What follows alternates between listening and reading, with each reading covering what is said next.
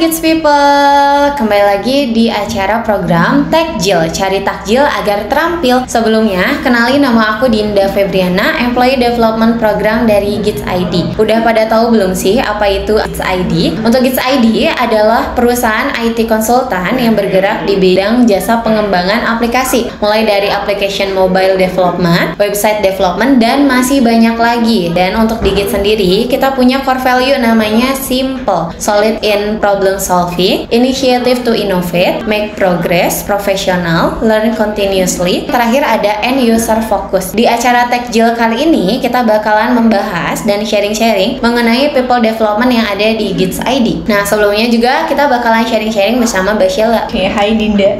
hai teman-teman Gids People, kenali nama aku Sheila. Aku di bagian HCD, uh, khususnya role-nya people development. Oke, Mbak, dari HCD. Di sini aku mau tanya beberapa hal ya, Mbak, mengenai people development. Untuk people development sendiri itu apa sih, Mbak sebenarnya? Oke, people development itu adalah pengembangan untuk karyawan dalam perusahaan. Sebenarnya kurang lebih singkatnya kayak gitu. Untuk people development sendiri, kenapa sih Mbak penting dan harus ada di suatu perusahaan? Tadi sebelum aku bilang kalau people development itu adalah pengembangan karyawan. Nah, setiap orang, setiap manusia itu kan pasti akan berkembang ya, apalagi mengikuti zaman gitu. Nah, makanya kenapa hadirlah people development ini, yang mana tujuannya untuk memastikan bahwa karyawan itu memiliki pengetahuan, keterampilan gitu yang selalu upgrade, yang mana untuk mencapai tujuan karir pribadi atau masing-masing atau employee gitu ya, maupun si uh, strategi ataupun kebutuhan dari perusahaan itu sendiri. Nah, pengembangan-pengembangan employee itu yang ada di Gates terutama itu akan selaras dengan value yang tadi udah disebutin ya, mulai dari solid in solving problem dan lain sebagainya. Mungkin kalau pengembangan tuh value-nya yang lebih masuk adalah solid in solving problem, kemudian ada make progress dan juga learn continuously. Jadi untuk people development ini di sebuah perusahaan penting banget ya Mbak ya ternyata ya. Buat Gates ID sendiri apa aja sih Mbak program-program buat people developmentnya? Di Git sendiri kita punya beberapa program sebenarnya kita coba sebutin satu-satu ya. Mulai dari yang pertama kita punya training. Training ini ada dibagi jadi dua, ada soft skill maupun hard skill. Nah kalau untuk soft skill kayaknya udah pada tahu ya, mulai dari communication, leadership gitu. Kalau hard skill itu banyak juga ya karena mereka lebih banyak ke role-nya masing-masing. Dan di hard skill ini kita juga punya course atau punya platform yang menyediakan course. Course itu bisa diakses oleh all employee. Terus yang kedua kita juga punya program sertifikasi. Sertifikasi ini biasanya untuk developer gitu ya biasanya mereka pakai Google juga ada Scrum selain developer kita juga menyediakan untuk non engineer-nya kayak misalnya HCD, finance, sales dan juga lain macamnya terus kita juga punya program EDP yang mungkin salah satu pesertanya adalah Dinda EDP itu adalah Employee Development Program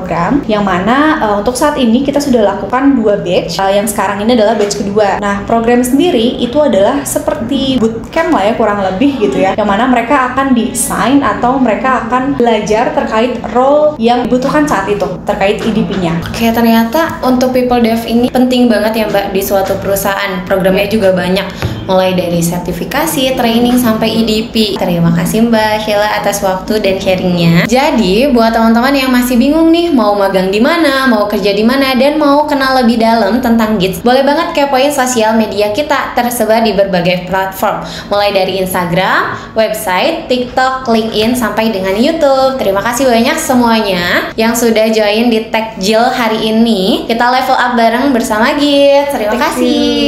you.